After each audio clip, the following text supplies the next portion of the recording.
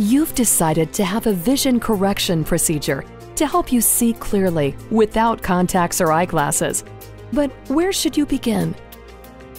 This video will explain the options currently available to help you decide which one is best for you. In order to see clearly, the eye must focus incoming light onto the retina at the back of the eye. If light does not focus on the retina, the eye will be nearsighted, farsighted, or astigmatic. There are vision correction solutions that help refocus the light, enabling the eye to see clearly. Glasses or contact lenses have traditionally been used to obtain clear vision, but today there are other vision correction options available. A doctor may use a laser to correct your vision with procedures called LASIK and PRK, or the doctor may use Visian implantable Collamer lens technology to correct your vision through the insertion of a lens. Here is a brief description of each procedure. LASIK surgery begins with anesthetic drops applied to numb the eye.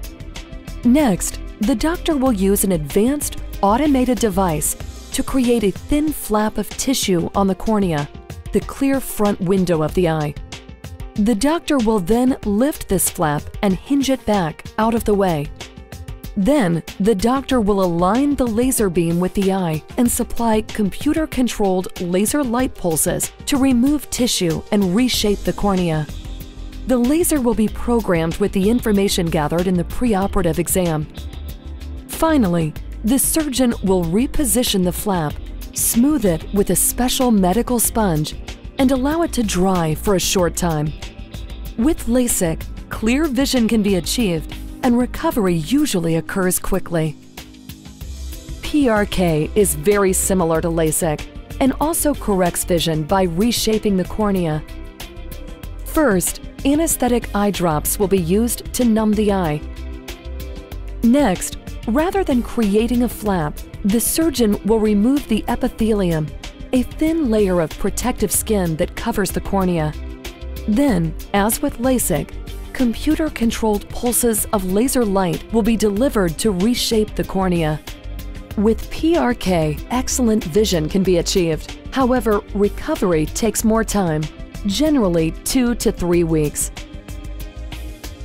Instead of reshaping the cornea like LASIK and PRK, Visian ICL uses lens technology to deliver sharp, clear vision. First, anesthetic eye drops will be used to numb the eye.